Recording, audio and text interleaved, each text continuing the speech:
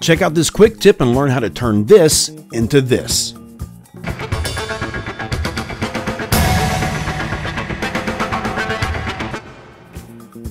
Right click in the area that's to the left of your timeline and choose New Shape Layer.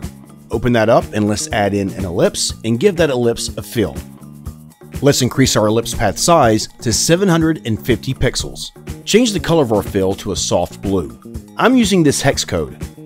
For this effect, we'll be using layer styles. To access those, select your layer and go to Layer, Layer Styles. To get our 3D soft lighting, we'll be using three layer styles. Drop Shadow, Inner Shadow, and Inner Glow.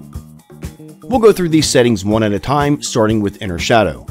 As I make these adjustments, pay attention to the effect it's having on our ellipse. Increase opacity to 100%. Change angle to negative 20 degrees. Increase distance to 85 and size to 200. Notice the soft shadow we've already achieved. Making small adjustments can result in vastly different looks. Try adjusting the angle or the distance to see what I mean. Let's close up inner shadow and move to inner glow. I want to get a specular look in the center of this ellipse. To do that, let's decrease opacity to 40%. Change source to center, increase size to 600, and range to 75%. Now, let's close up inner glow and open up our drop shadow settings. Change distance to 40 and size to 80. Let's close up drop shadow. Now, to see the difference that these three layer styles make, toggle layer styles off and on. As you can see, the difference is quite significant.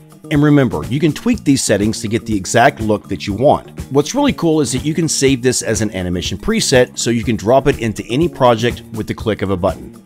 Select Contents, Transform, and Layer Styles so your preset includes all of these settings. Go to Animation, Save Animation Preset.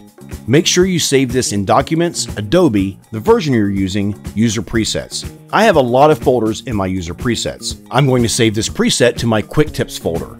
I'm going to name it 3D Shading Layer Styles. Now click Save.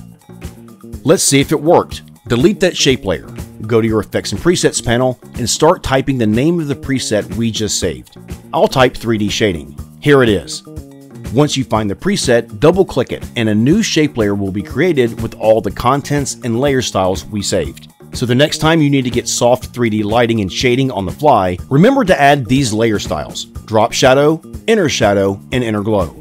To really save time, save it as an animation preset so you can bring in this look with the click of a button, and you'll save a ton of time.